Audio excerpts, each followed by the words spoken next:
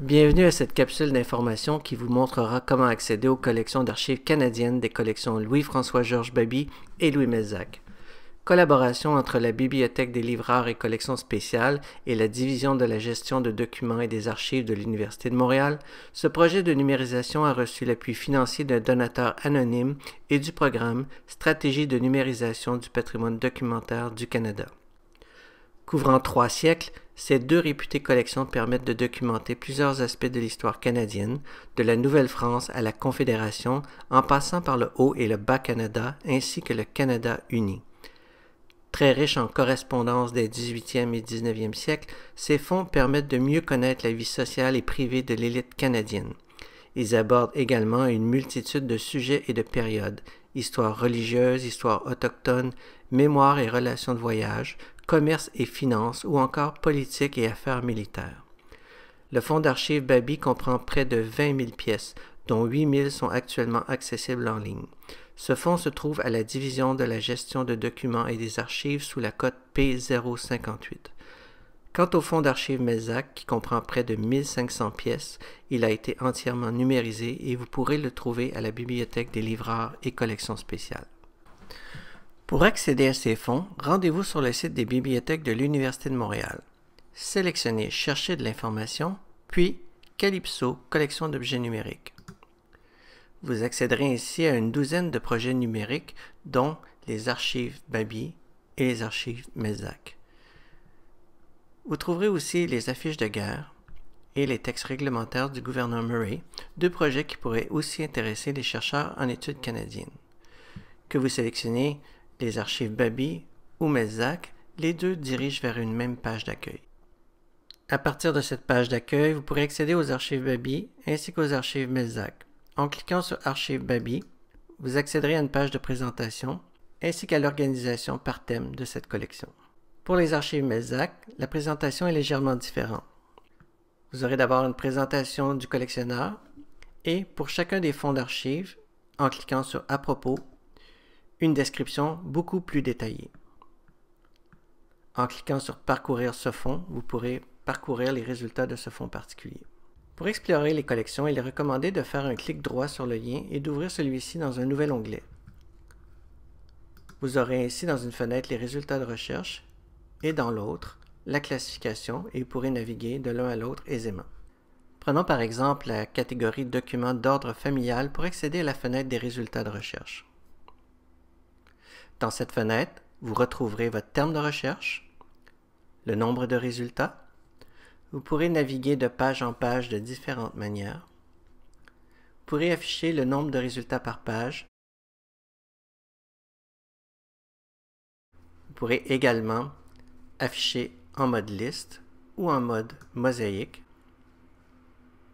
Enfin, vous pourrez trier par titre croissant ou décroissant, par sujet croissant ou décroissant, ou par description matérielle croissante ou décroissante. Il s'agit ici du nombre de pages. Décroissant, vous verrez, le document le plus consistant est de 91 pages, suivi d'un document de 9 pages. Dans les facettes de gauche, vous retrouverez différents index, auteur, destinataire, de lieu et de sujet. Ces index ne sont pas classés par ordre alphabétique, mais bien par nombre d'occurrences. Remarquez enfin que la catégorie Documents d'ordre familial est subdivisée en de nombreuses sous-catégories. Sélectionnons maintenant un résultat de recherche pour accéder à la fenêtre de visualisation. À partir de cette fenêtre, vous aurez accès aux documents numérisés ainsi qu'à sa description. Vous pourrez naviguer à travers le document à l'aide des barres latérales ou en choisissant la page. C'est aussi à partir de cette fenêtre que vous pourrez télécharger le document en entier ou cette page en particulier. Même chose pour l'impression.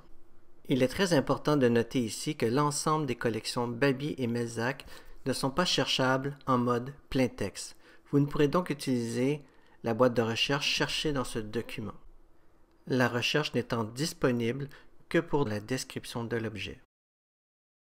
La lecture d'un document ancien n'étant pas toujours facile, cliquez directement sur l'image pour accéder à une fenêtre qui vous permettra de zoomer et de naviguer à l'intérieur du document. Vous pouvez utiliser le zoom avant, le zoom arrière, choisir un pourcentage.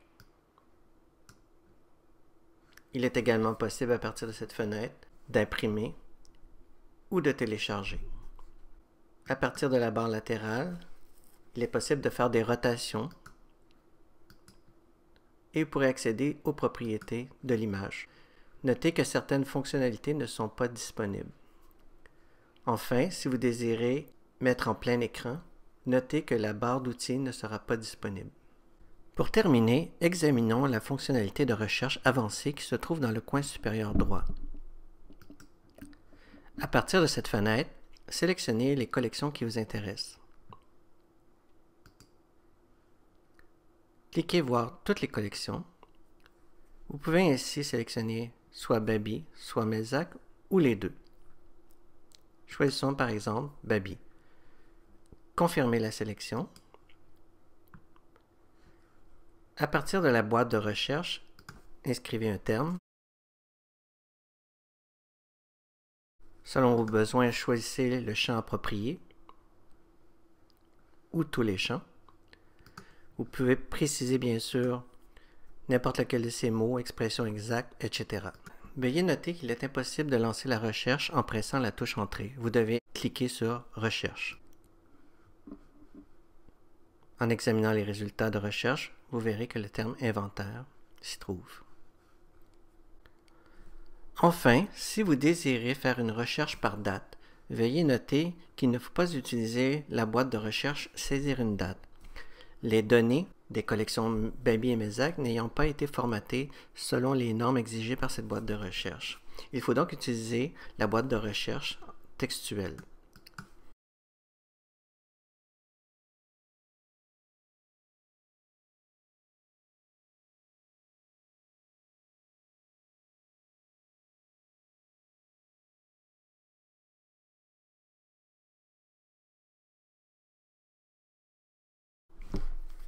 Si vous désirez retrouver tous les documents d'une année particulière, simplement inscrire l'année.